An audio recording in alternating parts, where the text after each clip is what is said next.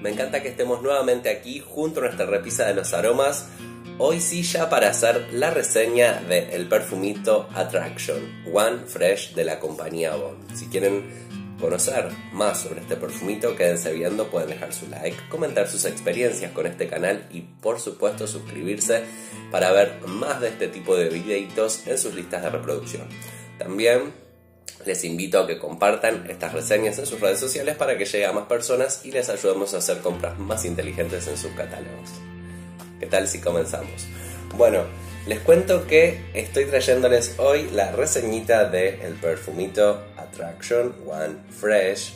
Este perfumito que compré hace no tanto, yo creo que lo compré hace, no sé si hace dos meses y les cuento que prácticamente hoy en la reseña vamos a estar dando su última atomización. Si es que me alcanza para atomizarlo, porque verdaderamente chicos y chicas, miren, les hablo de este perfumito. Verdaderamente es un perfumito que se deja usar y que lo eh, finalicé en un abrir y cerrar de ojos. Nunca me había pasado algo así con un perfume. Bueno, este es uno de dos hermanitos, viene una botellita que es parecida en color negro que complementa, así como ven que esto está como cortado a la mitad, como si estuviera en otra formita. Este es el Attraction One Fresh y el otro es, su hermanito se llama Intense. La idea es que son perfumes unisex con eh, tanto para usar para hombres y mujeres, pero con caracteres distintos. Este es un poquito más fresquito y su hermanito es más intenso, como lo indican sus nombres, casualmente. Así que no hay mucho misterio en cuanto a lo que Avon nos pretende presentar. Sí, verdaderamente quería hablarles de este en particular porque fue el que, bueno, el que yo de los dos con el que primero como que hice match, mm, fue el que Mm, de repente sentí como más agradable y más ameno para usar y lo empecé a usar, lo empecé a usar, lo empecé a usar y verdaderamente ya les puedo decir que ya lo habríamos terminado. A ver si puede salir un poquito.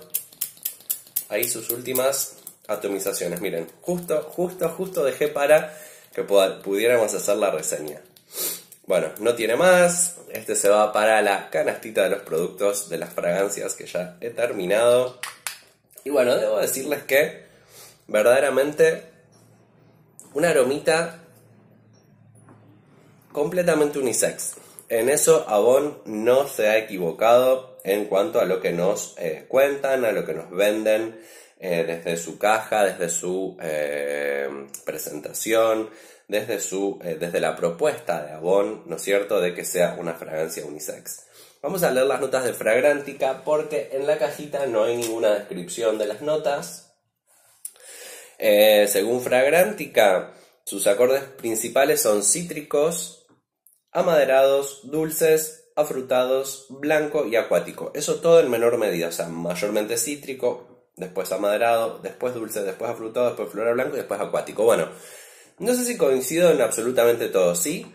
De primera salida es cítrico. El Attraction One Fresh es un cítrico que yo lo siento acuático y cremoso. Es como un perfumito que ya nomás desde su salida vamos a hablar cítrico y algo cremoso. Estaba leyendo algún comentario aquí en Fragrantica y alguien decía algo que me llamó la atención porque a mí me pasó lo mismo. Que al atomizarlo le siento un olorcito a coco. Y yo le siento como un olorcito cítrico y a coco. Pero no, lo no describe esas notas en su, eh, en su fragancia. Por lo menos no en Fragrantica. Este es un perfumito cítrico aromático para hombres y mujeres, lanzado en 2020. Su creadora fue Honorine Blanc, que la amo y amo todo lo que hace Honorine Blanc.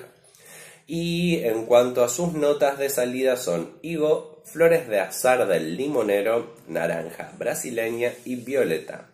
En el corazón, lima verde, notas acuática, lirio de los valles y una base de cedro abatón que Bueno, a ver, ¿qué puedo decirles? De las notas, vamos, yo siempre a mí me gusta leer las notas y después ir como analizando de nuevo la fragancia y viendo si, oliendo más que viendo, si verdaderamente algo de eso puedo encontrar en la fragancia. Higo, notas de higo.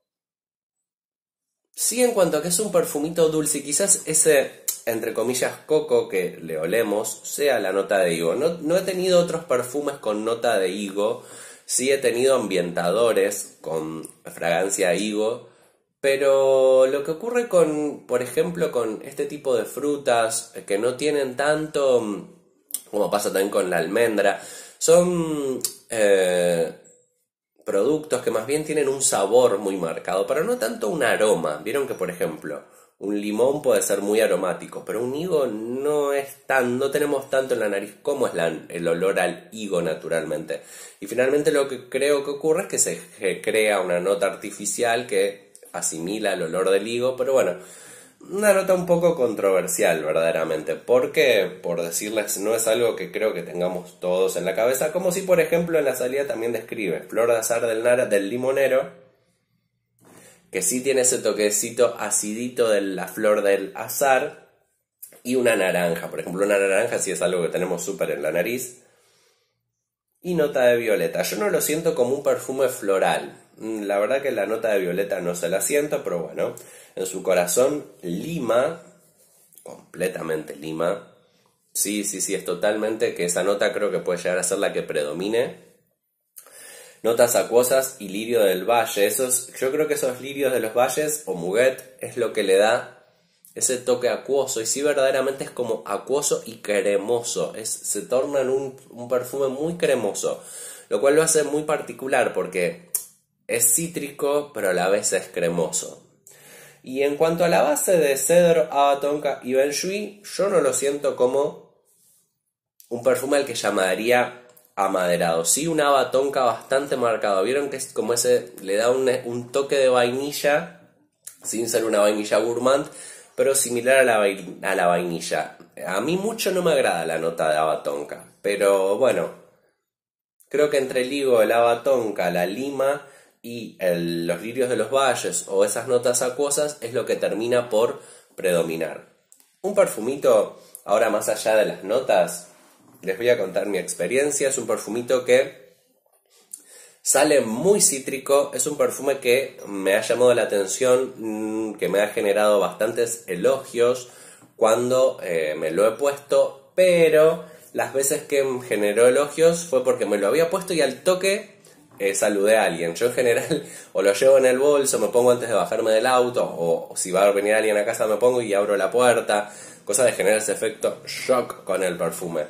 Pero luego si es un perfume que se siente muy cítrico a la salida, yo le siento esa nota como entre comillas de coco, que debe ser el higo y debe ser eh, el haba tonka, que le, le da ese toque así como cremoso.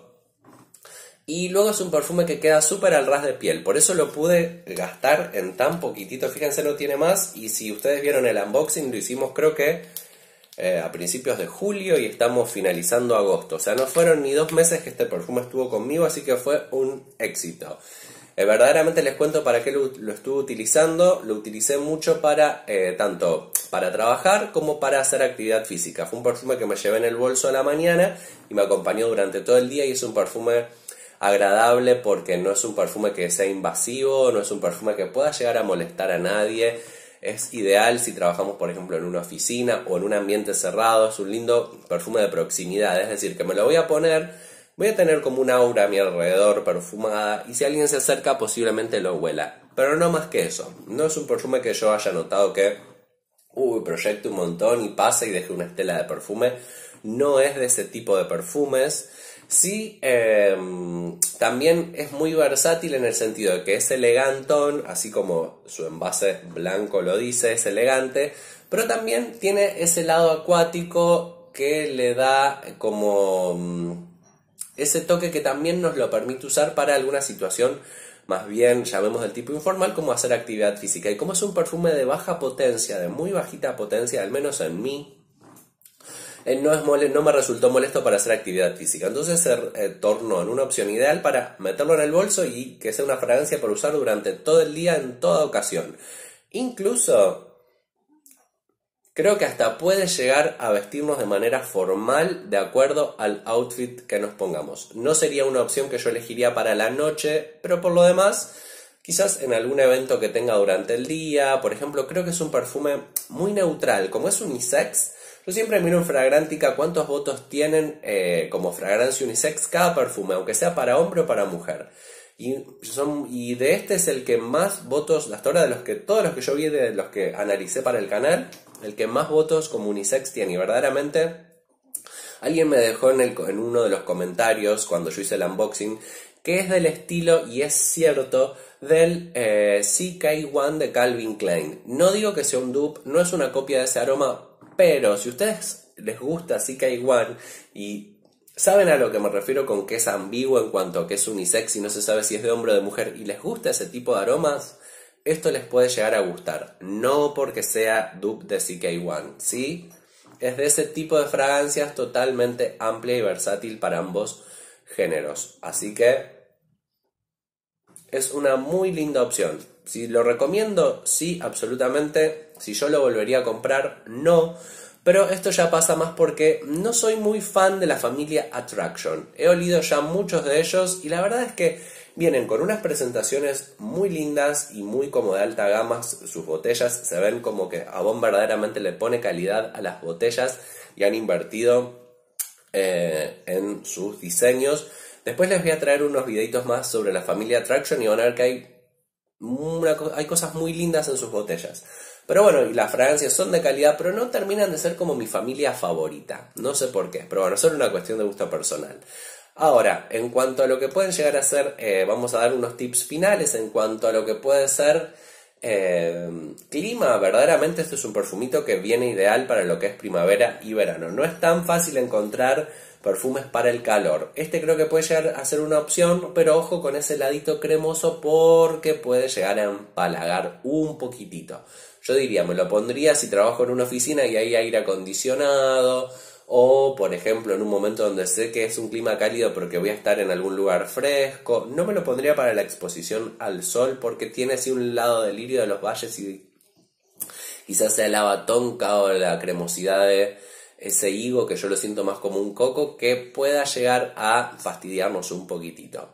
Edades, no creo que haya límite de edad para esto, más allá de que obviamente no es formulado para niños y niñas, sí creo que desde la adolescencia es un perfume, no sé si es que le guste mucho a, eh, alguien muy jovencito, pero sí creo que tiene, huele un, un aroma muy genérico como podría tener un desodorante, por ejemplo. Entonces creo que de ahí para adelante no va a haber problema. Ocasión creo que es más bien una, es un aroma más bien tirando a lo informal, pero que también tiene un ladito que puede llegar a ser utilizado en algunas ocasiones formales. Por supuesto que son solo sugerencias, esto puede usarlo quien quiera, como quiera y cuando quiera.